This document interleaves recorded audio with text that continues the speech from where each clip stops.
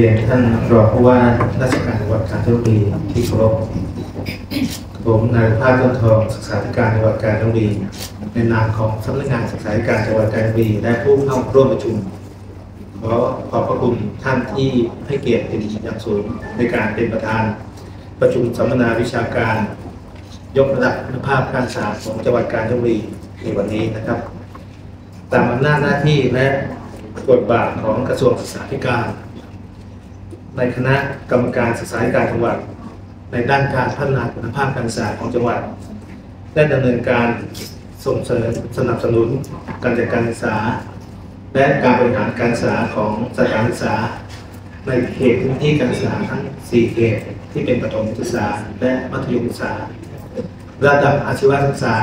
รวมทั้งส่งต่อสถาบันอุดมศึกษาในจังหวัดกาญจนบุรี เพื่อดูแลนักเรียนนักศึกษา ให้มีคุณภาพที่จะเป็นคนดีของสังคม และเป็นเยาวชนที่จะพัฒนาประเทศชาติให้เจริญรุ่งเรืองต่อไป ดังนั้นเพื่อเป็นการขับเคลื่อนการยกระดับคุณภาพการศึกษาในวันนี้กับผมและทีมงานจากคณะกรรมการศึกษาธิการจังหวัดอนุกรรมการศึกษาธิการจังหวัด แล้วก็ผู้แทนผู้ทรงคุณวุฒิในองค์คณะบุคคลทั้งหลาย ที่อยู่ในจังหวัดกาญจนบุรีไม่ว่าจะเป็นกสจอกสจอนุพัฒนาการศึกษาและอนุยุทธศาสตร์ ที่ดำเนินการขับเคลื่อนครับก็เรียนท่านผู้บริหารหน่วยงานทางการศึกษาทุกท่านนะครับท่านผู้เข้าร่วมประชุมรวมทั้งผู้มีเกียรติทุกท่านครับ ก็เป็นอีกวันหนึ่งนะครับ ที่ผมได้มีโอกาสมาร่วม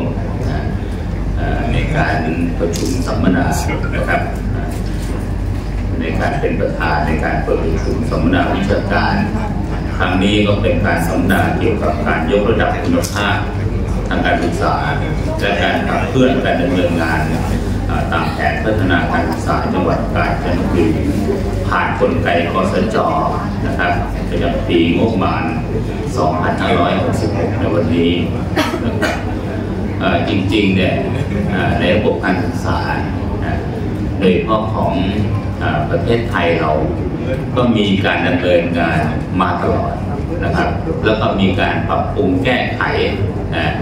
มีการขับเคลื่อน มีการพัฒนาในกระบวนการของตัวเองตลอด เพื่ออะไรครับเพื่อให้ระบบการศึกษาของเราเนี่ยทันยุคทันสมัยทันเหตุการณ์นะครับ ก็ผมก็ยินดีนะครับที่เลือกให้ผมมาเป็นที่ปรึกษานะครับ ในการกสจหรือการศึกษาจังหวัดกาญจนบุรี เพราะว่าอดีตเนี่ยผมก็เคยเป็นคณะกรรมการการศึกษาจังหวัด เป็นคณะกรรมการอกขสเป็นประธานอนุพัฒนาการศึกษาจังหวัดกาญจนบุรี วันนี้เนี่ยเราเองเราก็ยินดีฮะแล้วก็เข้ามาก็จะให้คำปรึกษาเกี่ยวกับเรื่องอการศึกษาในจังหวัด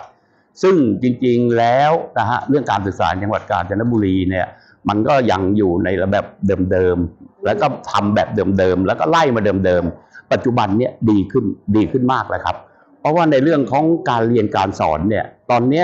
จังหวัดกาญเนี่ยเป็นโรงเรียนต้นแบบนะฮะของการพัฒนาก็คือให้อ่อห้าโรงเรียนจังหวัดกาญเนี่ยจัดหลักสูตรด้วยตัวเองนะฮะจัดหลักสูตรเสร็จแล้วก็จะไปผ่านอ่าเอาเอ่อกอกขส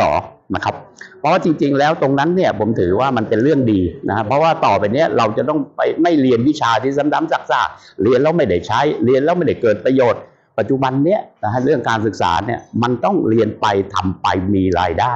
เพราะว่าการศึกษาเนี่ยมันต้องตื่นตัว เราเองจะอยู่ในยุคเดิมๆไม่ได้นะฮะเราจะต้องปัจจุบันเนี่ยเราต้องมาในเรื่องของ 5G 6G การศึกษานี้เราต้องดูแบบนะต้นแบบเขามีนะฮะแล้วก็เขามีเสร็จในประเทศที่พัฒนาแล้ว อย่างการศึกษาเนี่ยที่ผมเรียนว่าอันดับหนึ่งเนี่ยฮะในอาเซียนหรือจะที่หนึ่งในโลกเลยก็คือสิงคโปร์ผมยังอยากจะให้เอาตัวอย่างนะของสิงคโปร์เอาเข้ามานะฮะมาสอนนะฮะในประเทศไทย เรียนแบบเขาได้อันไหนที่ดีเราเอามา อันไหนที่เราจะพัฒนาในเรื่องของเราเราก็พัฒนา ผมเรียนว่าของเรานะฮะศึกษาประเทศที่เขาประสบความสำเร็จด้านการศึกษาครับ ก็เบื้องต้นก็จะมีเท่านี้ครับขอบคุณ